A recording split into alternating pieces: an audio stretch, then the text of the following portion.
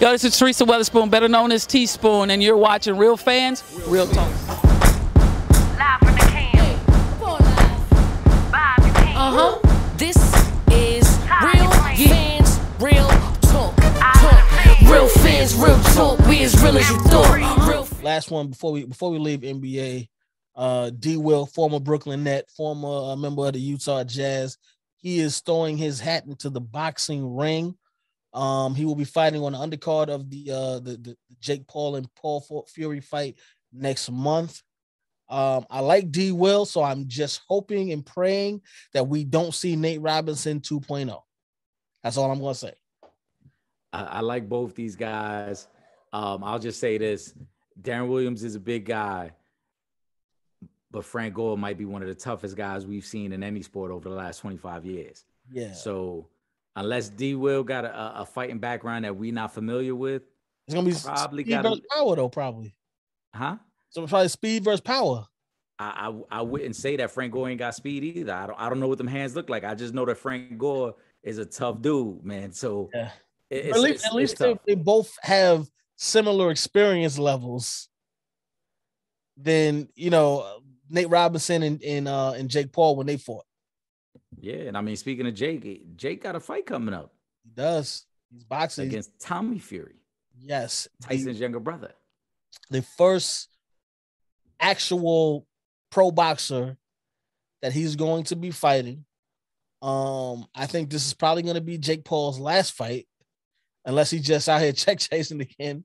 But this is this is what we've spoken about. You know, just because of the way Jake Paul speaks, you know, um, you got to actually fight some real boxers if you want to consider yourself, you know, someone that's really good in the sport of boxing. He's finally taken on the task. I will say this. Um, I give him a, I give him credit because I didn't think after the Tyron Woodley fight, you know, that he was going to be in such a hurry to step back in the ring just because in the Tyron Woodley fight, that was the first time where he was in a fight. You know what I mean? The other fights, he, he wasn't, those wasn't fights. Those was, I'm clearly better than you um, because I'm younger or I'm bigger or you weren't training or you were just so over the hill and past your prime that it didn't really matter. Now you about to be in a fight fight. So I want to see. I, I I am so looking forward to this one. I'm not going to pay for the pay per view, but I'm looking forward to seeing that fight. No, no, you know, we got some back channels that we're able to find the the, Yeah. the fights. Um, I, I give him a lot of credit from this standpoint. I, I've said you got to fight a boxer. Tommy Fury is a boxer. Um, Tommy Fury doesn't have a lot of experience. I think he only has about eight career pro fights. He's still on a on the up and up. However, Hmm. you know, he's been training in that camp with his brother, so he he trains like a, a pro style fighter, obviously, and I think this is going to be a good test for both of them because Tommy Fury, I don't think has ever been more than four or five rounds, um, whether it be because he knocked the guy out or because the fight was short in general. We know Jake hasn't been many rounds. I mean, his fight against uh, Tyron Woodley was the longest fight he had, had ever been in. Mhm. We're going to learn a lot about the kid. And to your point, though, he's already thrown it out there that after this fight, he's probably going to take a little bit of a break to focus on some of his other business. So I don't know if he's just setting the stage for what could be coming, or if he already, if he always felt that way and said, "Look, there's an opportunity for me to show everybody how good I am as a boxer, and then I'll step away for a little bit and and kind of figure out what the next move is." Well, he probably started feeling that way after the Tyron Woodley fight, just because again he was actually in a fight. Like the Well, fights, when- he wasn't in fight. When you get punched in the rope, when you get punched into the rope, sometimes you you realize like I don't know if I want to do this. You know, because as as the great uh marvelous Marvin Hagler once said, it's tough to train to fight when you're waking up in silk sheets. So, you know what I'm saying? the mindset is a little different when a bank account got got eight figures in there and you you got silk sheets on the bed. And it's like, ah, do I want to train? Do I really want to be taking punches to the face? So maybe he's reevaluating things. Well, we had a real boxing fight uh that went down this past weekend with, with a guy that Jake Paul, uh, for whatever reason in his mental state of mind, thought he was gonna call out and, and he wanted to fight him somewhere down the road. but uh big shout out to uh Canelo Alvarez. He is now the undisputed uh champion of the world. He beat uh Caleb Plant with the was 11th round uh knockout. Yes, if I'm- I'm 11th mistaken. round, 11th round knockout. Yeah. Um, I mean, you you've said it, Eric, plenty of times. Um, you know, I agree with you every time you say it. Canelo Alvarez is the best fighter in the sport of boxing uh right now.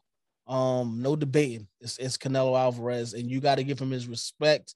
Um, you know, outside of of the of, of the Mayweather fight, and Mayweather makes everybody look looks you know look crazy. but outside of that fight, you know, he's dominated everybody that's been put in front of him. He had a good good battle with Triple G, but ultimately he still won those fights. But he is the guy in the sport of boxing right now, and everybody got to put respect on Canelo Alvarez's name if you have not already.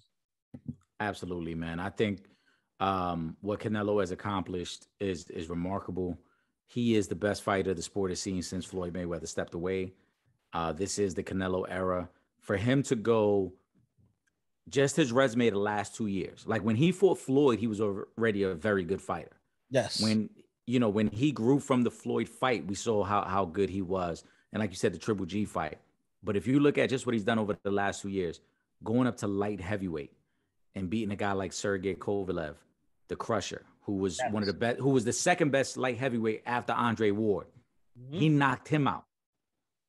Think about that for a second. A guy who started off as a natural welterweight, moved up all the way up to light heavyweight, knocks that guy out, yeah. and then said, I'm gonna be a middleweight and I'm gonna be a middleweight champion. And then he beats Golovkin the two times. And then says, I'm gonna be the super middleweight champion. And then within one year, beat all of the champions at super middleweight. Caleb Smith, um, Billy Joe Saunders, Caleb Plant, all in impressive fashion. I yeah. mean, he he he broke Billy Joe Saunders' face. Yeah. like let's call it what he broke his face. He definitely broke his face. That was you know what I'm saying? Like he he he told Caleb Plant, I'm gonna break your jaw. And then Caleb Plant said, You you gotta prove it to me. So then he knocked you out in the 11th round. You yeah. know what I'm saying? To the point where after the fight, you want to hug and like try to get Canelo's respect. And and granted, Canelo was a gentleman about it, but deep down, Canelo wanted to say, "Get the out my face." Of you course. know what I'm saying? Sometimes but you got to be politically correct. Canelo is is the best fighter in the sport. I applaud the man for everything he's doing for the sport. For the casual boxing fans, some some I, I see people say, "Oh, when is Canelo going to fight somebody?" I mean, he's only fought the three champions in, at super middleweight. I mean, like, only fought the champions. Like, come on, what are we talking about here? Like, right. it's just do like stop. You know, just come on, stop it. He, he's only fought the champions. That's all he's been doing. And um, he ain't ducking no smoke. First of all, when he fought Triple G, Triple G was probably the top dog in boxing. Nobody wanted to fight Triple G. Yeah, so come Nobody on. Nobody wanted to fight Triple G, and he fought him. Let's let, let, let, like let's not do that. You know what I'm saying? Let's not disrespect Canelo Alvarez and the work that he and his team ha- has put in. He's not ducking smoke from anybody. Um, you know, and he just proved it once again last night.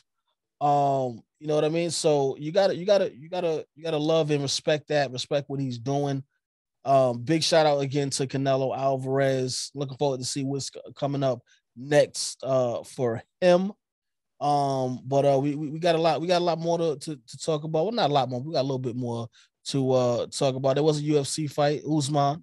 Um, he got the decision um in, in, in UFC, and right after that, while we're talking about uh Canelo, I don't know why he would do this. I don't know why MMA fighters, you know, in general do this, but he called out Canelo Alvarez and said he would like to fight Canelo Alvarez in a boxing match. Um, it's still, you know, throws me um and boggles my mind when I see these UFC fighters calling out boxers to fight them in boxing. If you're gonna call them out, tell them come to, NBA, to MMA. you know what I mean? then I'm like, all right, but you you you guys got to stop this, okay? You're not going over to boxing and beating the, especially not the top guys. You may be able to get you know get a win versus you know somebody who's just starting out early in their career, but you're not gonna gonna just make the transition over to boxing and beat Canelo Alvarez. You're not gonna go over to boxing and beat you know Floyd Mayweather. You're not gonna beat the Danny Garcias. You're not to beat those guys. You're not to beat Gervonta Davis. I'm sorry. That is not going to happen. Um, and I say this all the time when I hear these guys make these ridiculous call outs. If you were actually that good of a boxer, you would be boxing because as much as people want to say the sport of boxing is dead, those paychecks are still bigger than the paychecks that you are getting in MMA and the UFC or whatever, whatever, you know, where wherever you're fighting at in MMA, you're not going to get a bigger check. Now, granted, you know, a guy like uh, McGregor might get a bigger check than a lower tier fighter, but if you're comparing the top tier of MMA to the top tier of boxing, if if somebody came to Floyd Mayweather and said, "Yo, I'm about to pay you what we pay Conor McGregor for a fight here," laugh in your face and walk off. So let's be clear: if these guys could box at that level, they'd be boxing and they'd be getting those checks. Uh, yeah, guys got to got to cut it out. And uh in terms of the pay, there's a reason why the moment that Conor McGregor got that boxing money, he was no longer interested in fighting MMA. Yeah. Let's call it what it is. He was in no rush to get back in the octagon because he was like, man, I, I just made 25, 30 mil. He made more than, than his last five MMA fights, right? Right, right. You Come know what I'm saying? So um it, it ain't the same. Usman is a tremendous fighter. He might be the most dominant UFC fighter since uh, Jon Jones because Jon Jones really dominated the light heavyweight division there, and, yes. and Anderson Silva as well. Um, but he ain't on that level. And and like uh, Dana White even said after the fight, Dana White was like, he don't he don't want to see Canelo. He, he, Dana White Dana White was watching the Canelo fight yeah. while he was sitting ringside at the UFC. Like he said, he don't want the Canelo fight. He said, now if Canelo want to come over here and they want to fight, sure, but in a boxing ring, you don't want no parts of that. So just cut it out. Uh, the UFC guys got to stop it. Show respect. Uh, the same way box, you never hear boxing guys say, "I want to go over to UFC and fight them guys," because the boxing guys have respect for that art form, and they understand that it's not as easy as just me getting in the ring and fighting. There's a different art form that goes into that. There's, that's mixed martial arts. You know what I'm saying? That's hands, that's feet, that's leg locks, that's moves, choke holds. So don't disrespect the sport of boxing and think that just because guys is throwing hands that you can get in there and do it. Because the, the three times that we've seen a UFC guy get into the ring with a with a boxer, yeah. they've all lost. I mean, Woodley and, and uh, what was his boy that couldn't beat Jake Paul? Exactly. And they were UFC and, fighters. And those were exhibition fights. That's not like they went in right. pro boxers. Right. You you you were fighting a guy who didn't even have enough experience to be labeled as a world class boxer, and yes. you couldn't beat him. So, what makes you think that the training you're doing over there is going to translate for you to hang with the best pound for pound boxer in the world? Exactly. Now, if you were smart, you'd try to trick them out of their spot and get them to come to MMA and try to fight you dead. You'd be saying something. You got to hit them with the man. We keep going over there. Why don't y'all come over here now? You got to hit them with one of those. Um, you know what I'm saying? But even, even, you know, big shout out to Claressa uh, Shields, who who is arguably the, the, greatest woman boxer of all time. You know, it's probably maybe neck and neck between her and, and Laila Ali, but she didn't go over to, to MMA and say, let me get Amanda Nunes. Okay, she started at the bottom. Mm, right, right. You can't just go in there calling out the big dogs. Yeah. Right. She said, I want to go over and have a fight, but she didn't say she didn't start at the number one spot. You can't come in and just say, Oh, let me get Canelo and think you're gonna get a dub. No, what you're doing is, and I, I listen, I respect it. Yeah, trying to get a paycheck. Right. They don't really want Canelo. They want yeah, the Canelo payday. Yeah, because you can't call out Joe Schmo, who's three and zero oh right now, and think you're gonna get paid. It's not, it wouldn't even be worth it. So you gotta, if you're gonna make a call out, you gotta call out the top dog. Conor wasn't stupid. I'm gonna call out Floyd Mayweather. you know what I mean? Like I'm calling out the top dog because that's how I'm gonna get the biggest payday of my life and then I'm going to retire. You know, I don't give, I don't care about fighting anymore. And that's what we saw. You know, like you said with Conor McGregor, Usman's trying to do the same thing. It ain't gonna happen.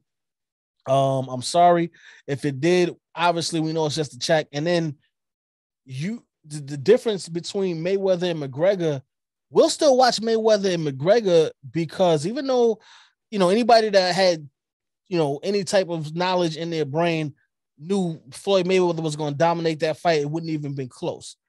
But those are probably Floyd Mayweather is probably one of the greatest talkers of all time, the greatest sellers of a fight of all time in the sport of boxing. Um, and you know, Conor McGregor is is is the same thing in MMA. So the fight is going is going to sell. It's going to make sense. You're going to want to see because they both talk so crazy. Usman ain't known for his trash talk like that, and Canelo don't even speak English like that. So, you know what I mean. So you don't even win from that aspect. excuse me, of the fight. So I I wouldn't even want to see that thing. It just just has no interest for me. But if you can go out and get a bag, you know, go ahead, man. Do you? I ain't stopping nobody from going out and getting the bag. Big shout out to Usman No for for for winning and uh retaining his title. Motherfuckers, this is your African King of Comedy, Michael Blackson. You watching Real Friends, Real Talk. Get real with it, my son. Uh-huh. This is real fans, real talk. talk. Real fans, real talk. We as real as you thought. Real